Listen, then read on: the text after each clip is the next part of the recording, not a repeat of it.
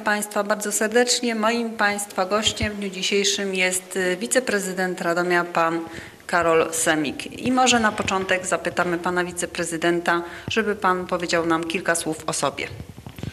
Nazywam się Karol Semik, jestem wiceprezydentem miasta Radomia od niedawna, bo od 22 grudnia. Wcześniej przez prawie 7 lat y, pełniłem funkcję mazowieckiego kuratora oświaty, czyli pracowałem w administracji rządowej, a teraz samorządowej, a wcześniej przez 17 lat byłem dyrektorem liceum im. Jana Kochanowskiego w Radomiu. Czy patrząc na swoją ścieżkę kariery jest pan usatysfakcjonowany jakby tą funkcją w chwili obecnej, czy dąży pan do czegoś więcej? Ja zawsze do tego, co przynosi życie w wymiarze i rodzinnym, i zawodowym podchodzę tak, że to, co spotyka mnie w życiu, musi być dla mnie satysfakcjonujące, bo jest mi to po prostu dane. Więc te zadania, które w tej chwili objąłem jako wiceprezydent odpowiedzialny za edukację i kulturę, przyjmuję po pierwsze z wielką odpowiedzialnością, a po drugie mam nadzieję, że wcześniejsze moje doświadczenia właśnie w pracy rządowej, w pracy z ze środowiskiem szkolnym. Patrz, chodzi tu nie tylko o wymiar nauczycieli, ale pracy z uczniami, pracy z ich rodzicami, ze środowiskiem, w którym szkoła funkcjonuje, czyli miastem Radomiem i nie tylko, będą tą moją wiedzą i tym doświadczeniem, które będą mnie wspierać w wykonywaniu aktualnych obowiązków. Czyli tak naprawdę już na sam początek możemy powiedzieć, że jest pan właściwą osobą na właściwym miejscu. To powiedziała pani redaktor, natomiast ja nie będę oceniał sam siebie. Dobrze, rozumiem. E, może przejdźmy do kilku pytań, jakie ja tutaj przygotowałam. E, co Pan zrobi w najbliższej kadencji, aby zapewnić mieszkańcom większy dostęp do kultury, do oświaty? Ja myślę, że to, co jest w tej chwili w, w kulturze, bo dostęp do oświaty jest zapewniony ustawowo, tak? Y, Młody człowiek y, ma obowiązek realizować swój y, y, szkolny obowiązek w wymiarze szkoły podstawowej i gimnazjum, natomiast również jest zobowiązany do obowiązku nauki, która trwa do 18 roku życia, czyli do ukończenia 18 lat. I to jest tylko pytanie, jaka jakość jest edukacji w tym przypadku miasta Radomia, która jest oczekiwaniem młodego człowieka i jego rodziców. I to jest zadanie między innymi dla organu prowadzącego, którego ja reprezentuję jako wiceprezydent miasta Radomia. I na pewno to, co jest y, y, niezbędne, aby y, ocena mojej pracy była właściwa, to jest zagwarantowanie dobrego spektrum oferty oświatowej, ale również dobrej jakości tej oferty i za to jestem odpowiedzialny.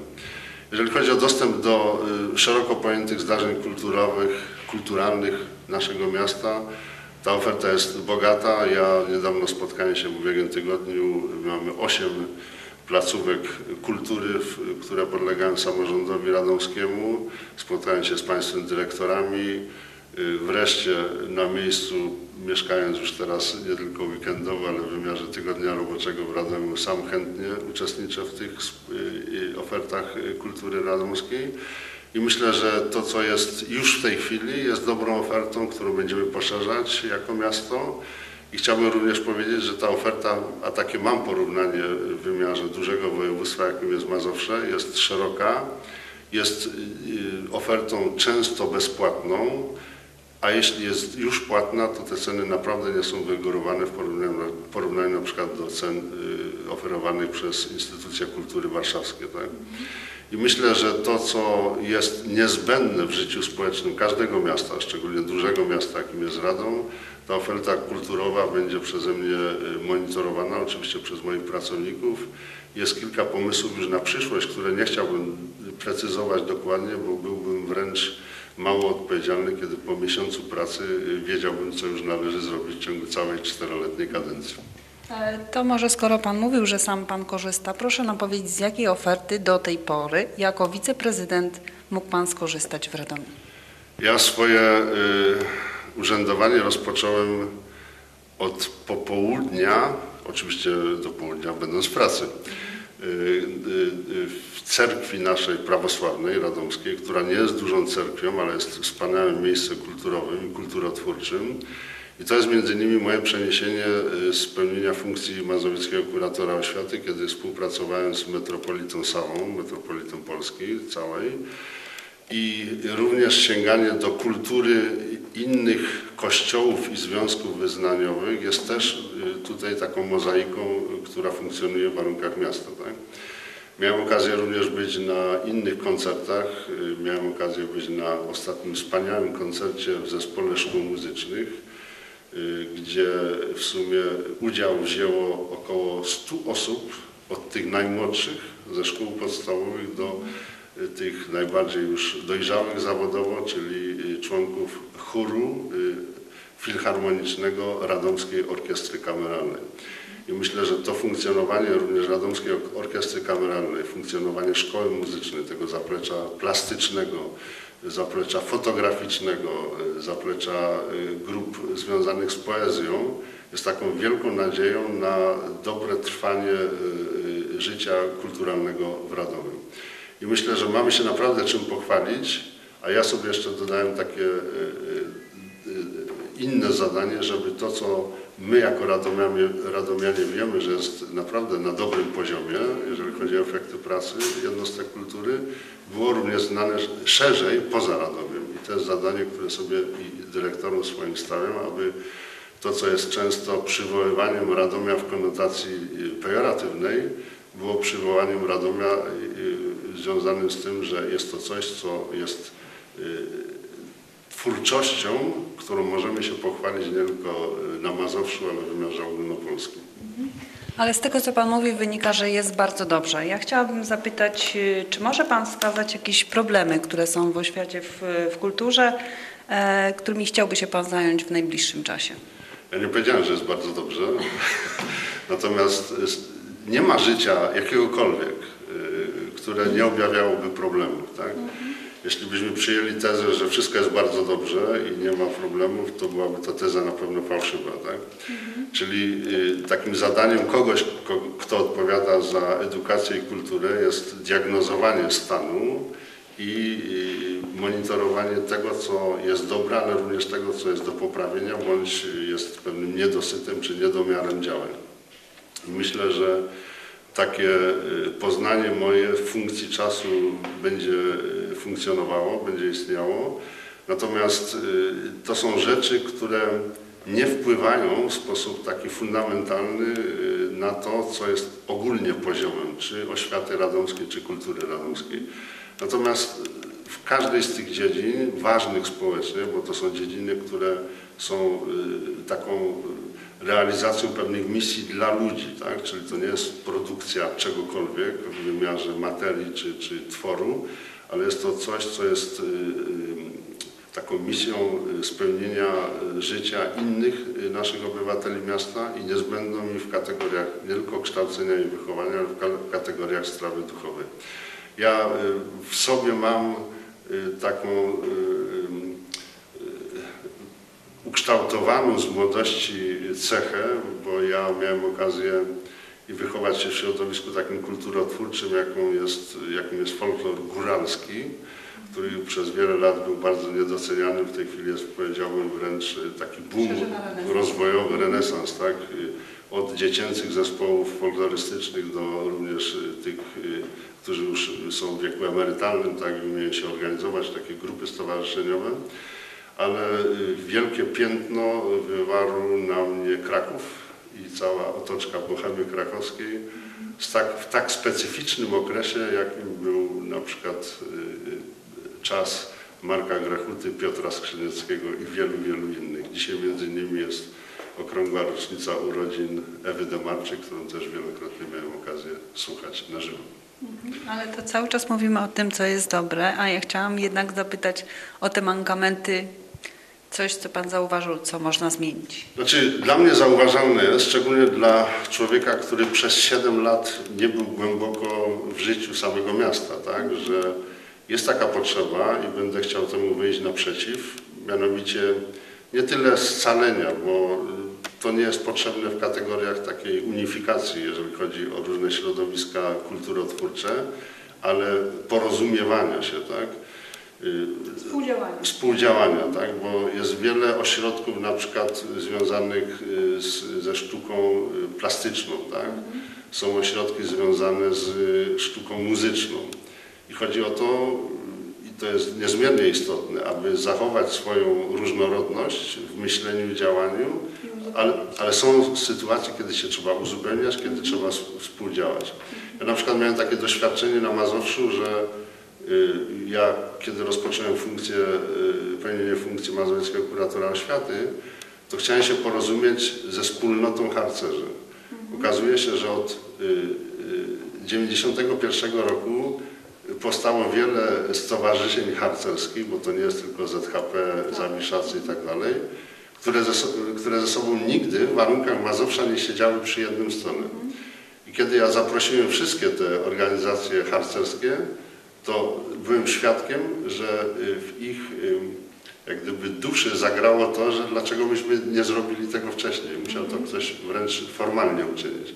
Ale to też jest między innymi zadanie y, każdego, który odpowiada za obszar działania społecznego, żeby doprowadzić do płaszczyzny porozumiewania się, która zawsze jest taką synergią, a nie tylko do y, takiego formalnego działania. Skoro już mówimy o harcerzach, o innych organizacjach, o stowarzyszeniach, to proszę nam powiedzieć, jak y, stowarzyszenia, które działają na rzecz młodzieży, kultury, mogą z Panem współdziałać? Co Pan chciałby razem z nimi zrobić tutaj na rzecz miasta i mieszkańców? Znaczy nie tylko mogą, ale powiedziałbym tak bardzo formalnie, że powinny, bo tak można domniemać, że są zapisy statutowe, bo to są organizacje pozarządowe lub inne, bo to nie tylko są organizacje pozarządowe. A z drugiej strony ja jako przedstawiciel samorządu, czy wcześniej strony rządowej, jestem też zobowiązany do takiego współdziałania. I to ma jeszcze taką ukrytą, wielką zaletę, aczkolwiek nie jest ona ukryta, bo y, jest ona oczywista i jasna. Mianowicie y, stowarzyszenia powstają mając cel działania, tak? I ten cel działania zawsze komuś służy. I to wspomaganie działania organizacji, na przykład pozarządowej. Ja dzisiaj rozmawiałem z panią, która jest szefową Stowarzyszenia Rodziców Dzieci z Zespołem Downa. Tak? Czyli są to działania, które y, po pierwsze są oczekiwaniem społecznym, a po drugie są takim moralnym obowiązkiem na przykład władz samorządowych, władz gminy, ażeby te działania wspomagać. One nie zawsze są związane z finansami. To jest na przykład wspólna organizacja jakichś przedsięwzięć, jakichś działań. A te działania wszystkie są potrzebne właśnie konkretnej grupie ludzi. Y, Tych stowarzyszeń jest bardzo dużo, tak? I jeśli to są stowarzyszenia działające w pewnym spójnym również obszarze, to chciałbym, aby te działania na przykład różnych stowarzyszeń, załóżmy plastycznych, też były ze sobą na zasadzie dopełniania się, a niekoniecznie tylko y, własnej działalności. A jakie trzy działania chciałby Pan, y, że tak powiem, połączyć, które stowarzyszenia, które się do Pana zwracają, były też spójne z tym, co Pan chce zrobić na rzecz miasta i mieszkańców? Znaczy tych działań niekoniecznie będą trzy czy ileś, tak? bo one będą wynikać z potrzeb y, po prostu społecznych i tego, co te stowarzyszenia y, czynią i robią. Ja chciałbym taką deklarację po prostu y, zaoferować wszystkim, którzy po prostu są pasjonatami, bo od tego się zaczyna. Tak? Ja współdziałem również z, z takim stowarzyszeniem ogólnopolskim rodziców y, z, dzieci z autyzmem. Tak? Y, Tych y, miejsc, gdzie stowarzyszenia, które y, pomagają y, grupom specjalnej troski osób, tak? jest wiele i chodzi o to, żeby po prostu one nie miały pustki takiej przestrzeni działania co do partnerów, tak? bo ja jako prezydent niespecjalnie im pomogę, jeżeli chodzi o ich merytoryczną stronę działalności, ale mogę być partnerem, który wspiera tę działalność. I moja deklaracja jest taka, że po prostu te stowarzyszenia, które już istnieją, y, ja dla nich chcę być partnerem, tak? I to nie jest kwestia, tak mówię, sama finansowa, bo to tutaj różne są sytuacje mogą być ograniczone możliwości, ale organizowanie wspólnego działania wraz z prezydentem to jest taka dobra rekomendacja dla tego środowiska, które to stowarzyszenie prezentuje. I myślę, że takie potrzeby są, a szczególnie jestem wrażliwy na potrzeby właśnie dzieci i ludzi specjalnej troski, tak? Y, Chodzi o to, żeby te osoby, które na przykład są dziećmi, młodymi ludźmi, mogły uczestniczyć w życiu społecznym, kiedy będą dorosłe, tak? Żeby nie było margin- marginalizowania tych osób w procesie ich wzrastania i kształtowania osobowości. Czy na dzień dzisiejszy może Pan zadeklarować, że na różnego rodzaju imprezach, które będą pod Pana patronatem, będzie Pan osobiście? Y, Tego nie jestem w stanie zagwarantować i to mówię jako fizyk, który wie, że doba ma 24 godziny, tak? Ale y, jestem na Ale miejscu. zawsze można wysłać przedstawiciela. Tak, i to, i to jest oczywiste. Ja jestem na miejscu i to jest łatwiejsza dla mnie funkcja niż y, bycie w Warszawie i obejmowanie całego Mazowsza różnymi przedsięwzięciami, aczkolwiek też staram się w sposób taki bardzo y, liczny reprezentować i siebie samego i swój urząd. Natomiast to jest współdziałanie, bo ja nie, nie pracuję w próżni, to jest iluś pracowników Wydziału Edukacji, Wydziału Kultury, są również inni wiceprezydenci, inne służby miasta, więc przedsięwzięcia z naszą obecnością też y, mam świadomość tego, że mają wagę inną, jeśli jest to właśnie w ten sposób realizowane. Ale moje ciążenie będzie szczególnie w kierunku właśnie y, y, oferty kulturowej dzieci i młodzieży, tak, z różnych środowisk i to, co powiedziałem wcześniej, osób, które wymagają specjalnej potrzeby wspomagania, czyli w za- w zakresie rozwojowym lub innym. I to jest coś, co wpisuję sobie jako obowiązek y, w zakresie moich kompetencji. Rozumiem, myślę, że to usatysfakcjonuje wszystkich, którzy będą mieli, e, będą nas oglądać. A chciałabym zapytać jeszcze w dotychczasowej swojej działalności, czy są takie rzeczy, którymi może się Pan pochwalić, które będzie Pan dalej promował e, i które chce Pan zaszczepić wśród młodszych? Znaczy dla mnie y, taką najważniejszą rzeczą, i to nie jest tylko y, moje widzenie jako nauczyciela i wychowawca, ale również rodzica czworga dzieci, jest promowanie tego, co jest fundamentalne, jeżeli chodzi o y, bycie odpowiedzialnym za ludzi młodych w wymiarze i edukacji, i kultury, czyli właściwego wychowania, bo w tej chwili y, dostęp do wiedzy jest praktycznie nieograniczony, tak? Y, Inne są zadania szkoły i środowisk kulturotwórczych, że trzeba młodego człowieka ukształtować do zdobywania wiedzy i pos- posiłkowania się tą wiedzą lub ukształtować do tego, żeby chciał być y, tym, który jest konsumentem kultury, mówiąc tak kolokwialnie. Tak? Ale w tym wychowaniu są również pewne elementy, które y, nie zawsze w dużych miastach, a Radom do takich należy, są we właściwym zakresie i we właściwej jakości realizowane w kontakcie z ludźmi młodymi, z dziećmi. Chodzi o przygotowanie ich do właśnie życia dorosłego, do wskazywania im systemu wartości, do wskazywania im pewnych właściwych relacji z osobami niepełnosprawnymi, dojrzałymi itd. Czyli jest to y, z mojej strony położenie takiego dużego nacisku na kształtowanie osobowości młodego człowieka w procesie jego wzrastania, co oznacza, że wychowanie dla mnie jest y, priorytetem w wymiarze tego kontaktu z ludźmi młodymi. No, Rozumiem. A może teraz pytanie troszeczkę inne. E, Czy planuje Pan prywatyzację naszych radomskich przedszkoli? Ja nie mam takich uprawnień.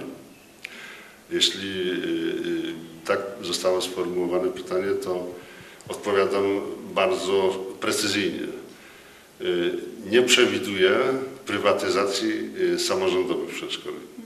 Natomiast jeśli pojawiają się placówki lub inne formy wychowania przedszkolnego, bo tak w tej chwili jest sformułowane prawo, to nie musi być przedszkole niepubliczne, to ja będę y, przyjaźnie na takie y, działania patrzył, tak? Z tym, że to nie w wymiarze kosztem y, placówek publicznych, samorządowych, ale po prostu wzbogacania oferty wychowania przedszkolnego.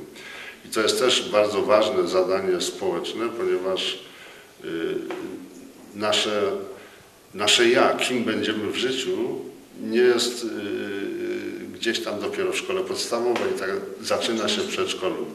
Ja chciałbym podkreślić niezmiernie istotną rzecz, bo ona poniekąd y, nie jest medialna, aczkolwiek jest ważna dla młodych rodzin.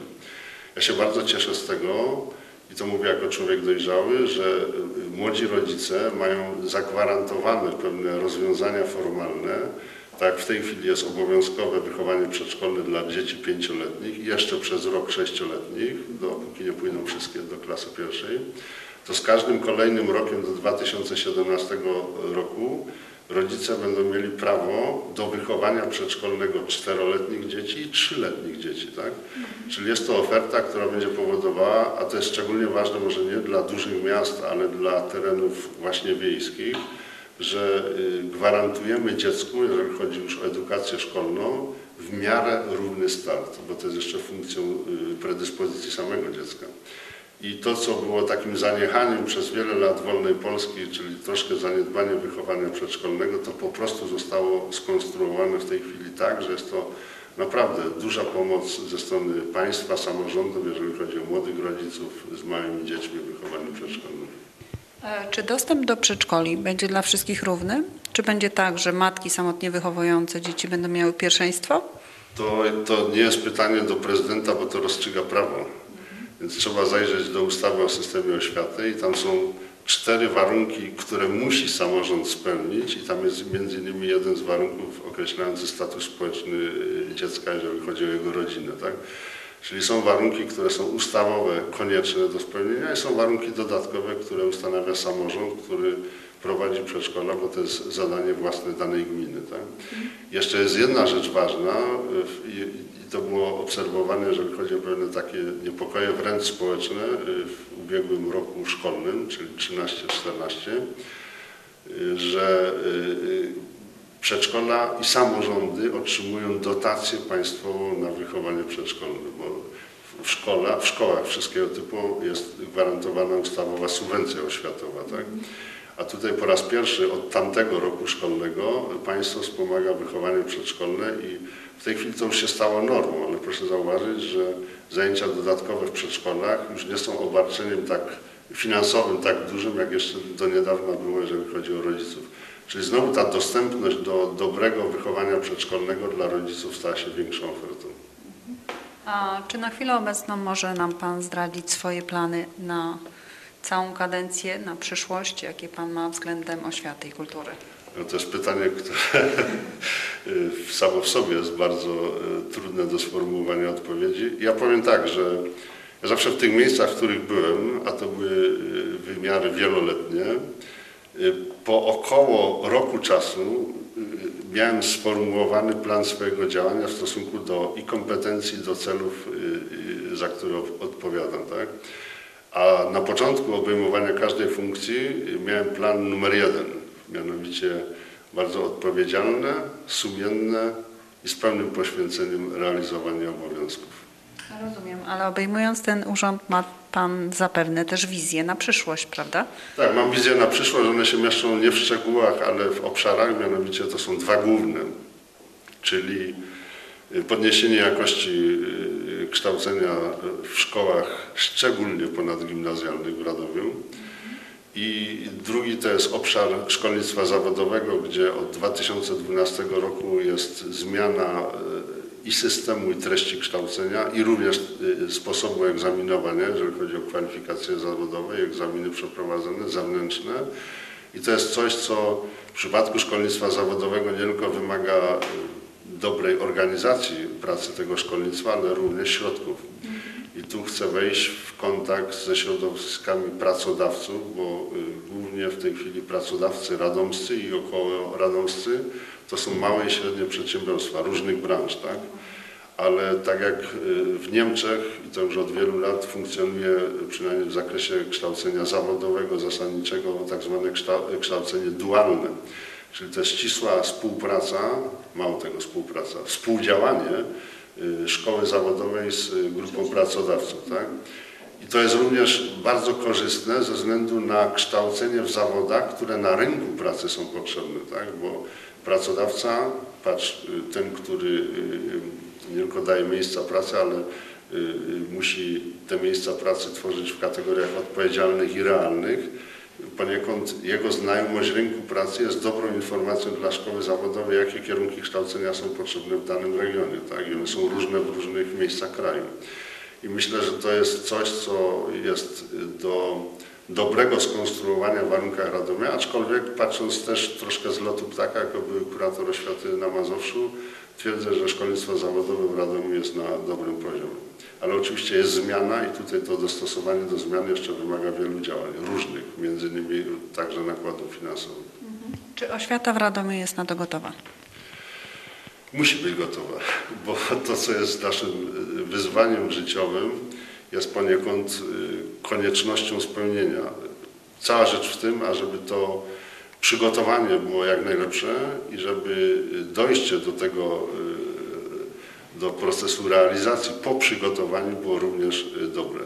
To wszystko zależy gdzieś na końcu od ludzi, czyli nie tylko od wiceprezydenta, pracowników y, Urzędu Miasta, ale od dyrektorów szkół, od pracowników szkół, ale również rodziców, bo my często zapominamy o tym, że w warunkach, y, załóżmy, pracy szkoły czy ogólnokształcącej zawodowej niezmiernie istotny jest klimat funkcjonowania tej szkoły. To jest pojęcie bardzo szerokie, ale przez klimat ja między innymi rozumiem dobrą współpracę szkoły z rodzicami. I tu już y, przy tej dobrej współpracy pojawia się bardzo wiele nie tylko ciekawych y, pomysłów, przedsięwzięć, ale jest to pomaganie sobie wzajemne, tak? czyli y, nie dążenie do jakiegoś konfliktowania, tylko dążenie do współpracy, a współpraca zawsze daje więcej efektów niż brak tej współpracy. Tak? E, No więc na koniec pozostało nam życzyć tylko Panu samych sukcesów w tej pracy, żeby oświata i kultura w Radomiu jeszcze bardziej mogła być rozwinięta i żeby przyciągała nie tylko samych radomian, ale również osoby spoza Radomia. Tak, dziękuję za te życzenia sukcesów, a ja również proszę o życzenia, abym umiał pokonywać trudności. Natomiast e, bardzo ważną rzecz Pani sformułowała, mianowicie Radom jest ogromnym miastem w otoczeniu niewielkich gmin i to jest szansa Radomia, tak? I myślę, że dobra oferta i, i dobre, powiedziałbym, sprzedawanie tego, co jest naszą ofertą zarówno światową, jak i kulturalną, y, dla tych, którzy są wokół Radomia, jest to też zadanie dla miasta Radomia. I to jest szczególnie ważne w, nie tylko w kategoriach, że na przykład przychodzi uczeń spoza Radomia, jest subwencja oświatowa na niego, dla niego, ale jest to poniekąd y, dostosowywanie jego percepcji, możliwości społecznych do tego, żeby umiał się znaleźć w świecie wielkomiejskim, co niekiedy dla niektórych młodych ludzi stanowi barierę, tak? Czyli to jest tak zwane uspołecznianie do życia w, w dużych miejscowościach. W tej chwili aglomeracje na przykład Mazowsza są takie bardzo charakterystyczne. Jest Warszawa, pięć dużych miast i są tereny wiejskie, tak? I niekiedy ta blokada y, czy obawa wręcz przed wielkomiejskością powoduje podejmowanie innych decyzji, mniej odważnych, tak bym to delikatnie nazwał. Ja sam pochodzę z bardzo małej miejscowości, która jak ja byłem dzieckiem była wioską i zawsze miałem tę blokadę w sobie, tak? I to wspomaganie otoczenia, na przykład ludzi, którzy tworzą lokalną społeczność w kierunku tego, że bądź odważny, spróbuj, tak, jest takim dobrym sposobem na funkcjonowanie w przyszłym życiu dorosłym. I tego też, y, i to też musimy robić w kategoriach odpowiedzialności. No, wszystkie dzieci i wszyscy ludzie są nasi, nie tylko ci radomscy, tak, także takie zadanie sobie też wyznaczam. Dobrze, dziękuję bardzo. Moim Państwa gościem był wiceprezydent Karol Semik.